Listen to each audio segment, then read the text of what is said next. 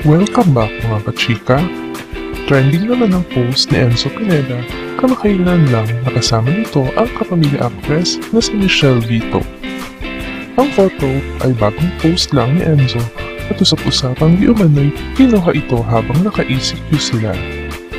Kapansin-pansin in love na in love si Enzo sa magandang mukha ni Michelle.